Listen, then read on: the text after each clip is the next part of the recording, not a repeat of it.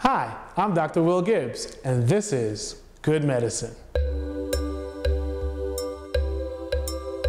When it comes to certain types of cancer, the poor are more likely to die of the disease than their wealthier counterparts. New research published in the journal Cancer found that out of 39 cancer types assessed, 32 were associated with poverty. Researchers did not find a significant association between economic status and cancer incidence, but they did find the link between economic status and cancer type. For example, researchers found that on certain cancers, such as cancers of the liver, cervix, and throat, were the most common in poor areas. Other cancers, including thyroid, testicular, and skin cancers, were more likely to occur in wealthier areas.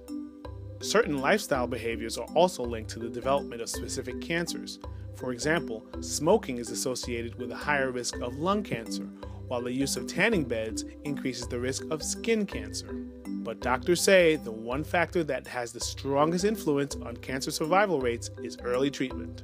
If you come in with a low risk cancer, low PSA, low stage, low grade, you get 90% survival rates at 10, 15 years.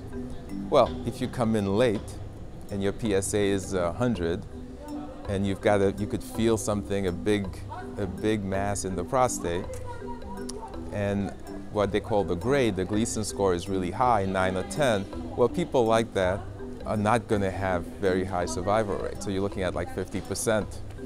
This type of national cancer research is so important because it can help people identify whether or not they fall into a high risk category. And that can ultimately save lives. I'm Dr. Will Gibbs, and you just got a dose of good medicine.